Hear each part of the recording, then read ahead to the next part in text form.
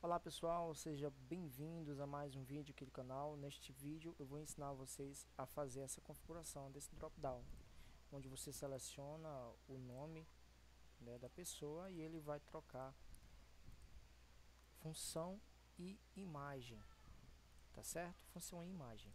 Então para isso a gente vai começar aqui no nosso banco de dados, tá bom? Vamos começar aqui no nosso banco de dados vamos excluir o banco de dados clientes que eu já tinha feito e vamos começar do zero. Primeiro eu vou criar um banco chamado cliente. Então, um banco chamado cliente. Este banco de dados clientes eu quero que tenha duas colunas. Aliás, três colunas. Eu quero uma coluna que tenha nome, onde eu vou salvar o nome do meu funcionário. Eu quero que tenha uma coluna que tenha função que vai ser do tipo texto, e eu quero que tenha uma coluna para salvar a imagem dos meus funcionários. Então, vou colocar aqui imagem. Quando eu falo coluna, vou colocar aqui do tipo imagem. Quando eu falo coluna, é justamente por conta disso aqui, ó. Eu tenho uma coluna agora que tem função, uma coluna para salvar a imagem, uma coluna para salvar os nomes, tá? Como que eu faço isso, essa, essa configuração aqui no Dropdown? Deixa eu apagar isso aqui. Deixa eu apagar isso aqui. E deixa eu apagar o drop-down também. Vamos fazer tudo do zero para você aprender, passo a passo. Primeiro a gente vai procurar aqui né, a ferramenta drop-down, tá? Onde nós vamos aqui puxar e escolher o tamanho do nosso drop-down, tá bom? Vamos excluir aqui o que tem dentro desse drop-down. Nós não queremos ele estático, nós queremos ele dinâmico justamente por conta que ele vai puxar do banco de dados. E a gente quer que ele vá até o banco de dados clientes, que foi o que a gente acabou de criar. Né? Foi justamente esse banco de dados aqui, cliente, que a gente acabou de criar. Então eu quero que o, banco, o drop-down ele, ele tenha essa ligação com esse banco de dados. Aqui eu quero que ele faça uma busca dentro dessa, dentro desse, desse é, agora me falhou, me falhou o nome, gente, pelo amor de Deus, dentro desse banco de dados. Quero que ele faça uma busca dentro do banco de dados clientes, tá?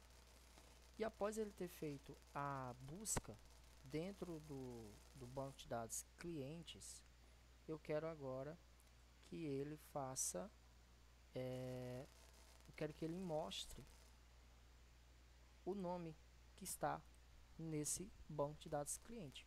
Então, quando eu der um preview aqui, ele já vai conseguir me mostrar né, os nomes que está dentro do banco de dados clientes. Não veio, deixa eu ver o que é que tem de errado aqui. É, clientes, fazer uma busca por clientes. Nomes. Ah, claro, né, gente? Não tem nada dentro do banco de dados. Então, vou fazer aqui uma entrada direta, tá? Vou colocar aqui duas pessoas. Jarlison Lourinho, meu nome, tá? Vou colocar uma imagem para representar esse Jarlison Amorim aqui. Vou colocar aqui esse sol. Aliás, eu troquei função. Vou colocar vendedor e o nome Jarlison Amorim. Pronto. Vou criar e vou adicionar mais outro mais outra entrada diretamente pelo banco de dados. Vou colocar aqui Pedro.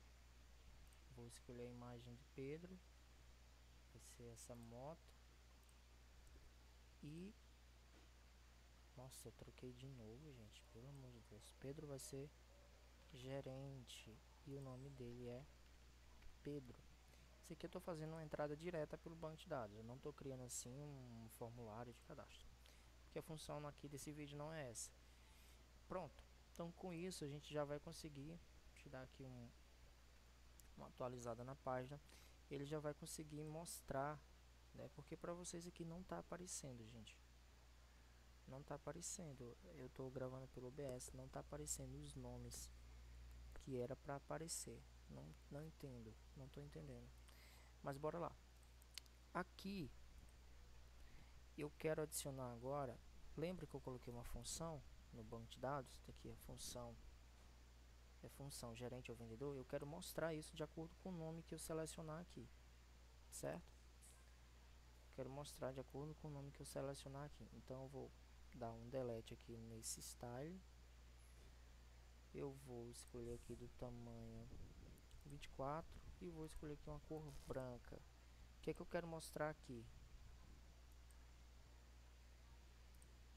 O que, é que eu quero mostrar aqui? Eu quero mostrar a função né, que eu salvei lá, de acordo com o nome que eu selecionar no dropdown. Então, o que é que eu vou fazer aqui? Eu vou dar um duas for e vou procurar pela tabela clientes. Aqui é onde acontece né, o segredo de você interligar o, o nome que vai aparecer aqui com o dropdown com o banco de dados. Então, o que, é que eu quero dizer assim? Eu quero que o nome que está lá no banco de dados né, que eu salvei dois nomes, lembra? Jarles e Pedro, seja igual ao que eu escolhi no dropdown. Seu valor, nome. Eu quero que você me mostre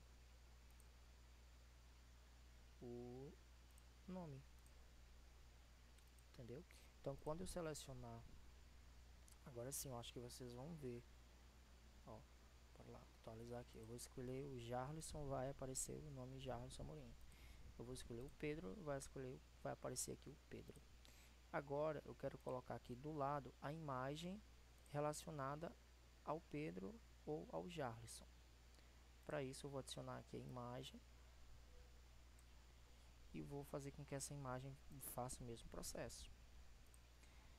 Do se for banco de dados clientes, é isso? Cujo, mesma coisa, o nome, porque ele não está relacionado com o dropdown, então tem que ser assim. O nome tem que ser igual ao nome que eu escolhi no dropdown e o seu valor. Nome. E eu quero que você me mostre a imagem. Veja bem. Então, quando eu selecionar o Pedro, ele vai mostrar a imagem que foi salvo do Pedro. Quando eu colocar é, o Jarlison, vamos dar um exemplo aqui, ó. Selecionei Jarlison, apareceu Jarlison, apareceu a imagem do Jarlison. Selecionei Pedro, apareceu Pedro, apareceu a imagem do Pedro, tá? Então é isso, o vídeo é isso, espero que vocês tenham gostado. Se você ainda não é inscrito no canal, se inscreve, deixa seu like, compartilhe esse vídeo com mais pessoas para que esse vídeo possa chegar a mais pessoas.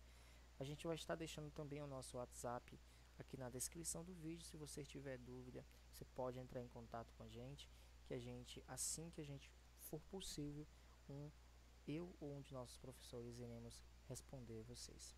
Grande abraço e até o próximo vídeo. Tchau, tchau.